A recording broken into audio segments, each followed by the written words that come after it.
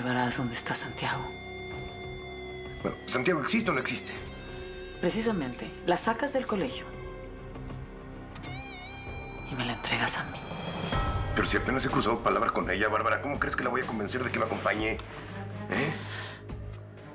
Diciéndole que su adorado Santiago se enteró de que va a ser padre, que ya la perdonó y que pronto se casarán para que juntos reciban la llegada de su hijito. ¿Te vas? Si me quedo,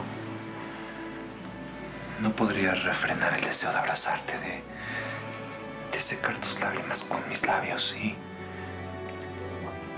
y decirte casi en secreto que todo está bien.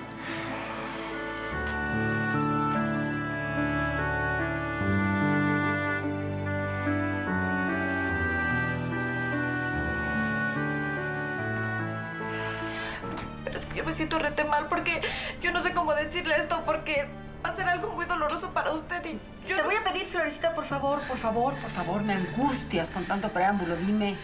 Sí, señora. Sí, señora.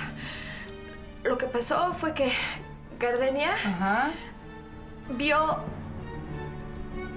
al licenciado Gallardo y a la señora Bárbara haciendo cosas en el carro. Porque ahora el camino lo tiene completamente despejado. ¿Despejado para qué? Ya no hay nada que impida que usted la enamore abiertamente. Porque Fernanda se va a divorciar de Damián. Se equivoca, Bárbara. Yo tengo un compromiso con Erika y no estoy en condiciones de enamorar a su hijastra. No vamos a ponernos a discutir en este sitio si eso es difícil o no. Tampoco si quiere o no hacerlo. El asunto es así de simple. Si desea seguir viendo a Liliana, averigüe qué está tramando mi hijastra y evite a toda costa que ella haga algo en mi contra.